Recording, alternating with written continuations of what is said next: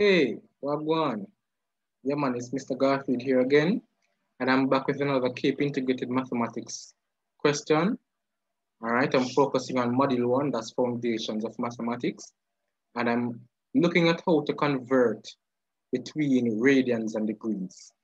All right, so we're doing conversion of degrees and radians.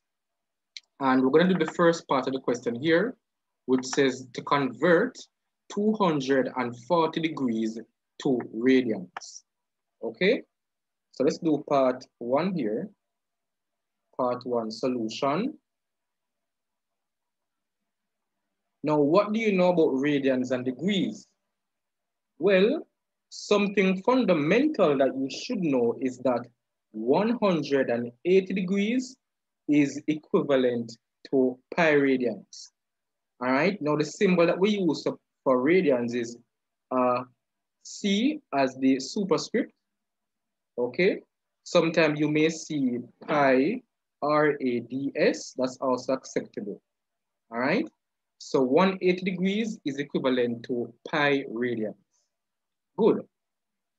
Now, how would I convert from, from 240 degrees to radians? Well, let us find what is one degree.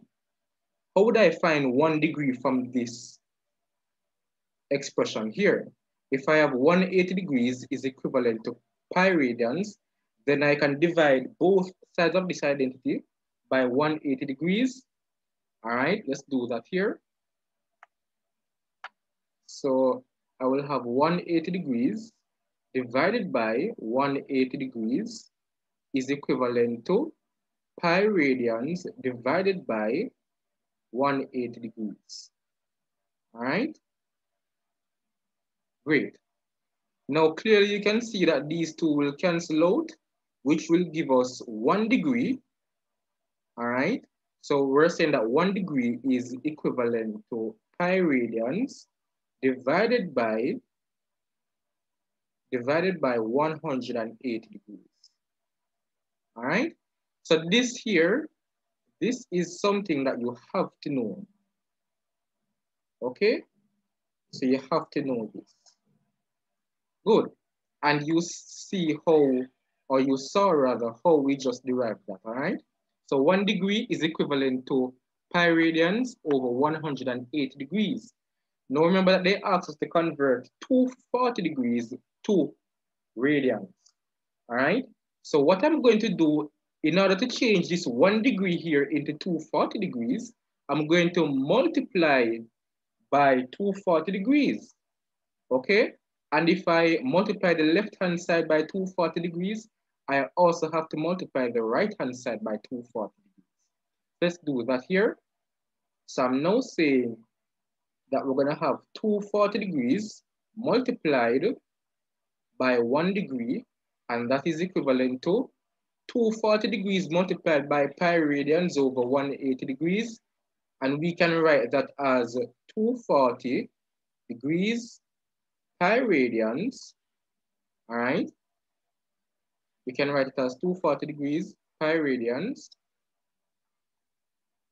divided by 180 degrees. Okay, great, we can do that. Good. And remember that you have to do it to both sides of the identity because anything that you do on one side, you have to do to the other side, right? Great. Now 240 degrees multiplied by one degree is just gonna be 240 degrees, okay? And as it relates to the right-hand side here, I can simplify 240 degrees over 180 degrees by using my calculator, okay? So I'm going to bring up my scientific calculator Great. And I'm now going to simplify that fraction. That's 240 over 180. Okay, when I click equal, I get it in a mixed number form, and I'm going to convert that into an improper fraction by pressing shift and then SD here, which is 4 thirds. All right, so that fraction 240 degrees pi radians over 180 degrees can now be written as 4 pi radians over 3. All right? So this is going to be 4 pi on 3. Good, and that is your answer. Okay? Now, how do you know that you are correct? Okay, so this is now our correct answer. But how do you know that you are correct? Well, we know that pi radians is equivalent to 180 degrees, right? So you could use a calculator. This is really four. So four pi radians over three is really equal to four multiplied by 180 degrees divided by three, okay? And of course, if you do the mathematics, you will recognize that this is equal to 240 degrees, okay? So our answer is indeed correct. Great. So the first part of the question is now completed. Let us now do the second part of the question, where we are to now convert pi over 3 radians to degrees. Okay? So this is now part 2 solution. Let's go down here. Part 2 solution. Okay, so we now want to convert pi over 3 radians to degrees. Let us start off with this again. We know that pi radians is equivalent to 180 degrees. Good? Now, how, how would I know what is one radian now? Right? If I want to know what is one radian, I will have to divide both sides of this identity by pi radians, right?